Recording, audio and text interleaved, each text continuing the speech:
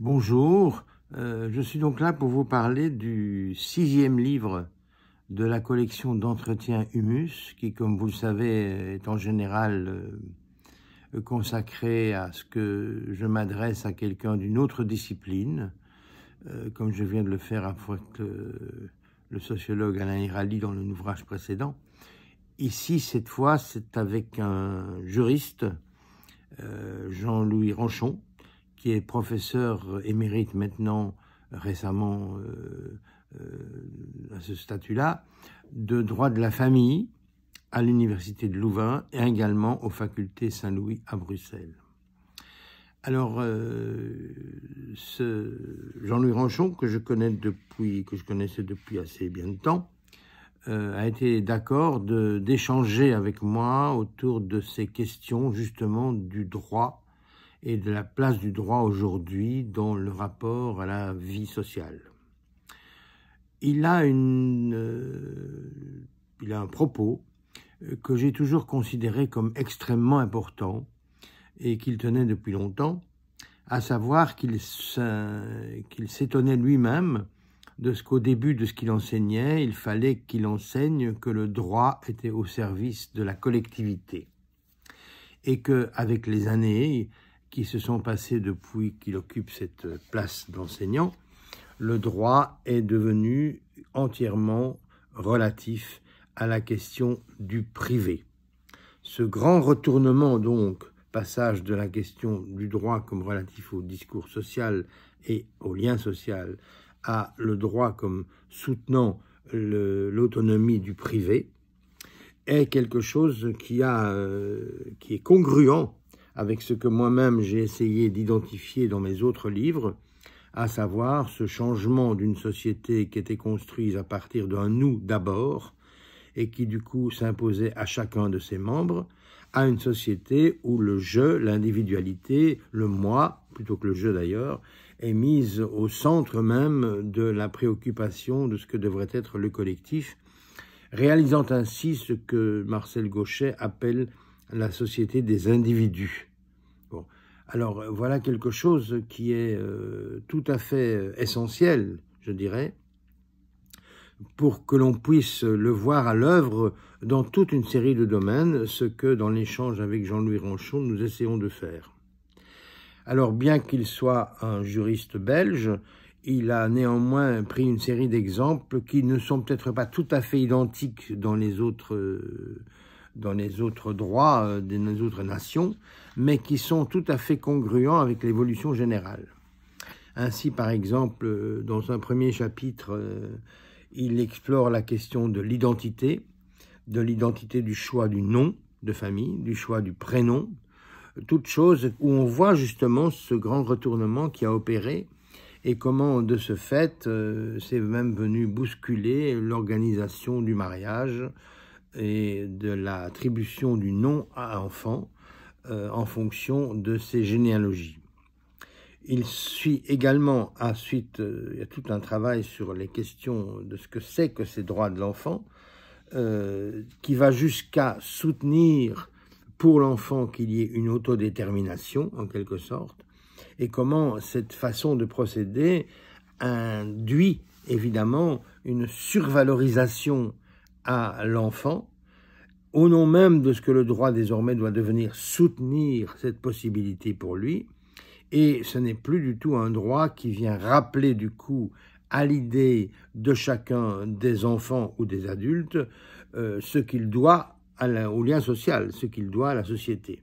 On prend de plus en plus, au contraire, la position inverse qui est de soutenir l'individu dans le rapport qu'il a au social. Tout cela est évidemment euh, à mettre en rapport, et Jean-Louis Ranchon le fait avec beaucoup de, justesse et d'à-propos, avec euh, la question du néolibéralisme, puisque effectivement, euh, ce dernier s'est complètement distancié de ce que quelqu'un comme Alain Soupio, dans un très beau livre sur le principe de Philadelphie, rappelait, à savoir qu'il y avait des règles à la suite de la Deuxième Guerre mondiale qui avaient été édictées pour essayer qu'il y ait moins d'inégalités et pour essayer que justement euh, ces inégalités n'empêchent pas une société de se construire. Mais aujourd'hui,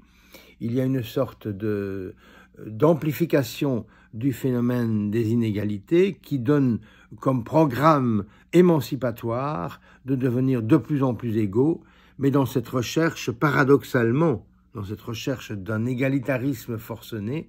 on peut dire qu'il y a euh, presque euh, l'évacuation de la question euh, de l'inégalité, de l'individualité, parce que vouloir l'égalité est sans fin en quelque sorte. Il n'y a pas moyen de, ne pas penser que l'on est devant une impasse si à toute naissance, émergence de l'individu, il y a le vœu de pouvoir le reconnaître comme fonctionnant dans le social. Il y a à ce propos-là d'ailleurs un texte que nous citons de Freud qui était particulièrement élogieux lorsqu'il dit, particulièrement éloquent plutôt qu'élogieux, parce qu'il dit euh, que hum, on ne sait pas à l'avance devant l'émergence d'une revendication nouvelle et individuelle, si elle va être au service du narcissisme de celui qui la propose, ou si elle va être au service d'une amélioration de justice dans le lien social et dans le discours social.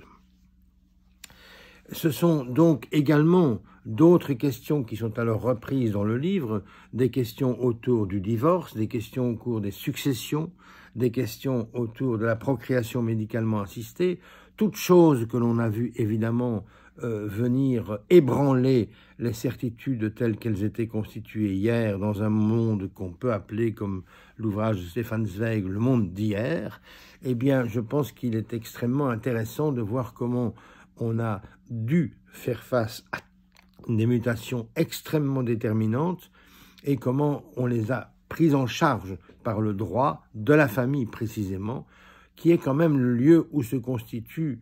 pour tout le monde, pour tout individu futur citoyen, euh, où se constitue sa, capacité d'énonciation,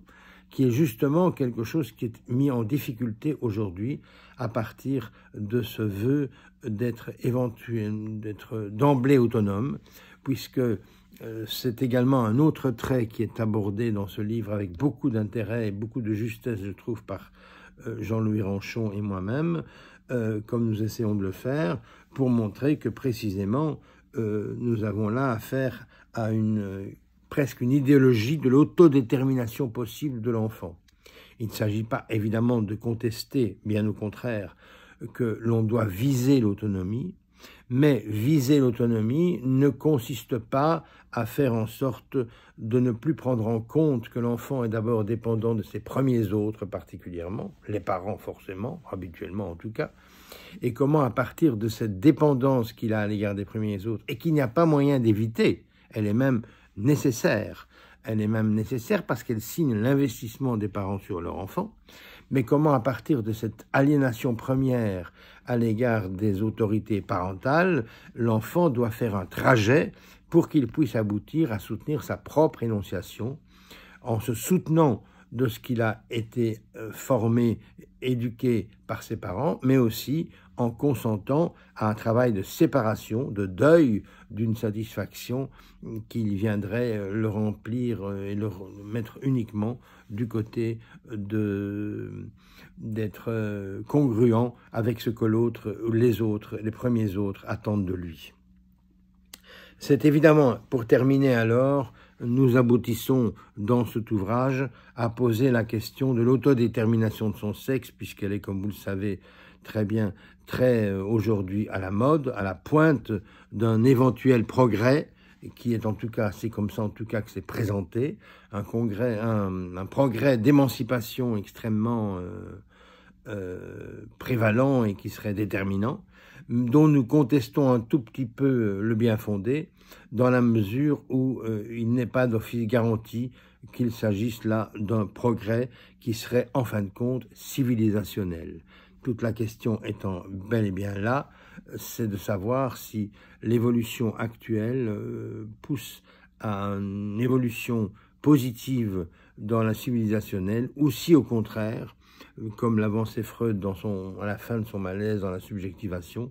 l'issue n'était pas certaine de ce que ce soit au service du civilisationnel que l'évolution actuelle euh, se pose. Voilà les questions extrêmement fortes euh, relatives à ce qui est le droit de la famille, justement, que dans ce livre, euh, il y a cet échange avec ce magistrat, ce professeur de, de, droit de la famille, qu'est Jean-Louis Ranchon. Et je pense que nous avons tout à fait pu mettre en évidence comment cette question de la psychanalyse, ce qu'elle entend de ce que c'est que la réalité psychique d'un sujet, et la question du droit dans la mesure où elle vient garantir en quelque sorte les conditions pour que de l'autonomie subjective puisse se réaliser à un moment donné et donc amener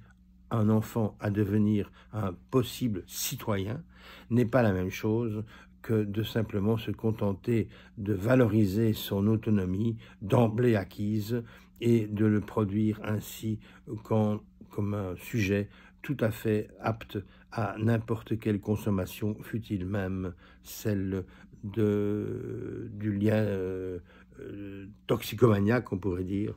à l'égard de substances ou de n'importe quoi qui peut servir d'adjuvant.